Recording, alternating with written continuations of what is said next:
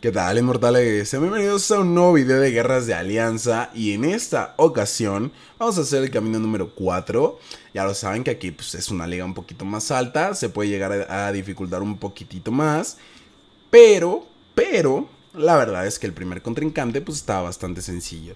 Entonces te preguntarás, a ver, a ver, a ver, señor Erickson, entonces ¿por qué si estaba sencillo? ¿Por qué está potenciando, caballero? Ah, pues porque no nada más le iba a pegar a él, inmortal, le iban a ser varios, que ahorita vas a ver que tienen ahí por ahí un cierto grado de dificultad, ¿no? Que pues sí tenía yo que ir un poquito potenciado, que ya lo sabes, más que nada en estas guerras, pues es para asegurar, ¿no? Porque dar una baja pues pesa más que en otras ligas, entonces por eso es que había que potenciarnos más.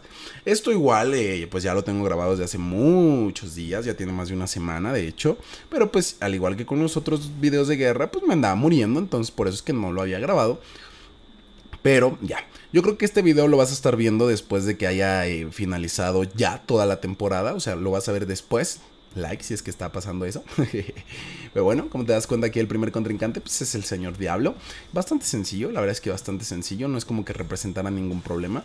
Como te estás dando cuenta eh, aquí con el, con el muchachón Omega Red que, wow, o sea, realmente es una máquina, eh, o sea, es una máquina. Y que yo te había hecho una comparación entre Omega Red con Warlock, ¿recuerdas? O sea que siento que más o menos las esporas que te pone Omega Red son equivalentes a el daño que te puede llegar a hacer Warlock con su virus tecno, tecnoorgánico, algo así se llama, ¿no? Y pues a la vez con su duplicado. O sea, creo que pueden parecerse, ya digo, en algún momento, ya en algún momento vamos a hacer una comparación. Espérame, que ahorita te dije camino 4, ¿verdad? No es cierto, es el camino 1. Qué tonto, me súper confundí, discúlpame. Pero bueno, vamos a continuar con esto. Acá vamos contra un Punisher. ¿Cuál era mi plan para vencer a Punisher? Pues que se moría con las esporas. Digo, ¿para qué? Para no, para no tardarnos tanto. ¿Por qué? Porque si yo llegaba a darle un hit y no era lo suficiente como para vencerlo, pues iba a tener el problema de que iba a poner el super reforzado o super acorazado, algo así se llama esa porquería que se pone, que ya sabes que es con la cual pues simple y sencillamente es indestructible. Entonces, pues aquí solamente hice eso, eh, como que dejé que me pegara un poquito para no, para no tener tanto problema en que pues cargara las esporas. Tenía más de 20, ¿no? Por más que se alejara, se iba a morir, porque ya sabes que hacemos daño siempre y cuando haya más de 10.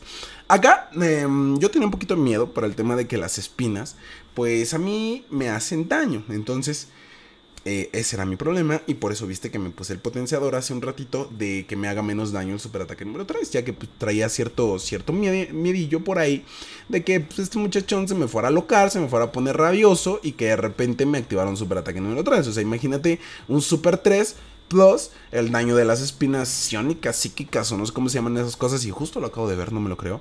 Pero bueno, tenía yo ese miedo, ¿no? Eh, afortunadamente, la verdad es que estaba muy agresivo. O sea, fíjate lo agresivo que está haciendo este personaje. O sea, prácticamente superataque tras superataque. O sea, ve esto. Realmente, pues no representaba un gran problema. Pero aún así, y como te lo comenté al inicio de la guerra, el punto es asegurar, ¿no? O sea, el punto es tranquilo y hacerlo. Y pues a fin de cuentas, cuando tienes los recursos, pues ¿para qué le vas a cerrar, no? O sea, creo que es mejor eh, prevenir que lamentar creo que es mucho mejor porque ya hemos visto que eh, he tenido otras guerras por ahí en las cuales pues sí, pues sí valgo, ¿no? De que voy ahí super macho y pues de repente, ándele, me regresan de tremendo cachetadón y ahí está.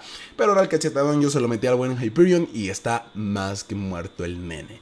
No representó ningún problema, la verdad. Incluso viste que llegué a curarme cierto, cierto porcentaje, ¿no? Entonces dije, pues eh, fácil, fácil, easy peasy. Aquí vamos a, vamos a continuarle. Imagínate qué, tan, qué tanto tiempo tiene que grabar esta guerra. Que fíjate que mi, que mi hermano todavía tiene las runas antes de hacer su, su, Legend Run. O sea, imagínate cuánto tiempo tiene esto.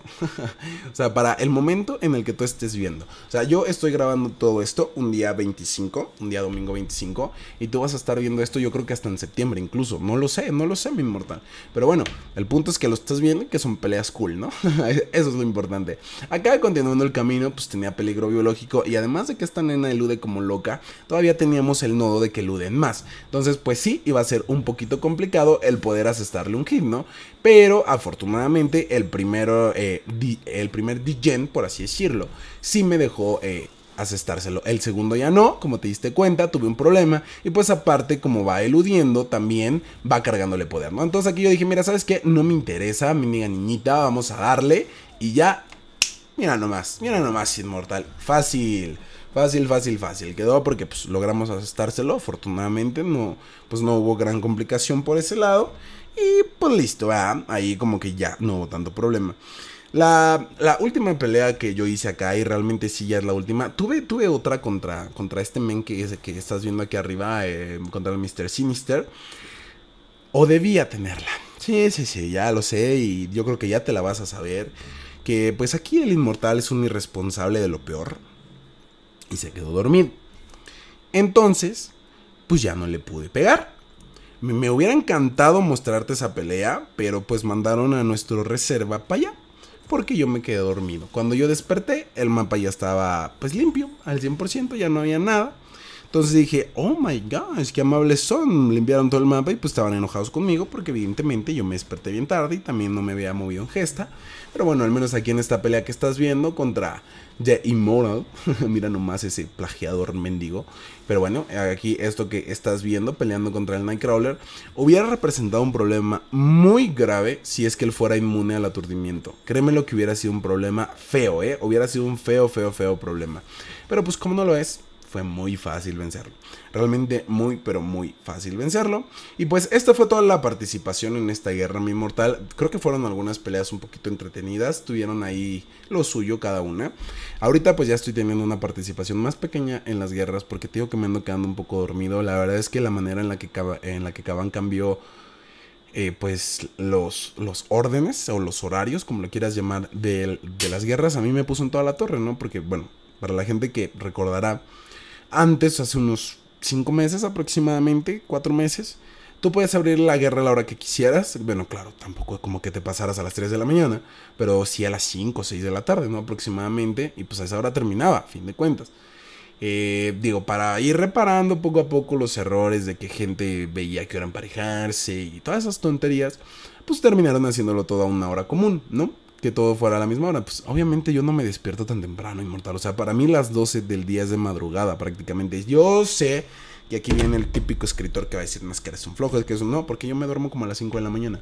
Entonces, por eso es que, digamos que para mí, dormirme a las 5 y despertarme a las 8, que se despierta una persona que va a la oficina, por ejemplo, o algo así, pues está cañón. O sea, realmente para mí está cañón. Yo no lo hago de esta manera, entonces por eso es que al, menos a mí me pasó a dar en toda la torre eso que hicieron, ¿no? Poco a poco he ido cambiando mis horarios y pues cuando estoy haciendo arena me es extremadamente fácil, pero pues bueno, no importa, ¿no? Ya, el punto es que aquí está y lo que queríamos ver era la participación y ya está. Sin más, por esta ocasión ha sido todo, mis inmortales. Espero haber sido sagrado, que lo hayan disfrutado, que se hayan entretenido, que ya saben que eso es lo más importante. Y si es que así fue, denle like, suscríbanse y compártanlo para que más gente lo vea. También activen esa campanita cuando se suscriban para que puedan ver el contenido diario. Es contenido diario en mi inmortal, eso no lo hace cualquiera. Y también acuérdate que hago stream todos los días, exceptuando los fines de semana. Y si es que lo voy a hacer, pues te aviso primero. Pero bueno, sin más, nos vemos al siguiente video, mis inmortales. Cuídense. Chao, chao.